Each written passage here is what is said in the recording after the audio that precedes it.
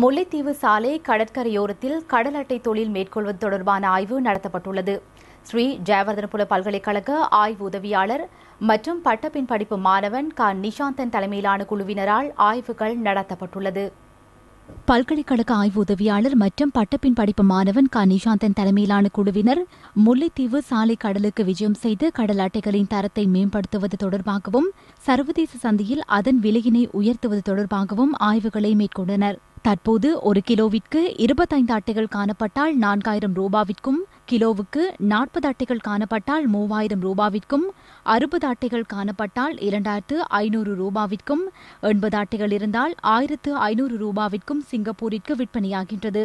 கடல் அட்டைகளின் தரத்தை தொழில்நுட்பத்தை பயன்படுத்தி மேலோங்கு செய்து சந்தைப்படுத்துவதன் மூலம் மேலும் அதிக விலைக்கு இதனை விற்பனை செய்வதற்கான நடவடிக்கைகள் முன்னெடுக்கப்படுகின்றன. முல்லைத்தீவு மாவட்டத்தில் பாரிய அளவில் கடல் அட்டைகள் பிடிக்கப்படுகின்றன. இக்கடல் அட்டைகளானது ஏற்றுமதிக்காக மட்டுமே பயன்படுத்தப்படுவதுடன் இவற்றின் ஏற்றுமதி தரமானது பதப்படுத்தல் தரத்திலேயே தங்கியுள்ளது. இப்பதப்படுத்தல் தரத்தில் தான் இவைகளின் விலைகளும் பாரியளவில் தீர்மானிக்கப்படுகின்றன.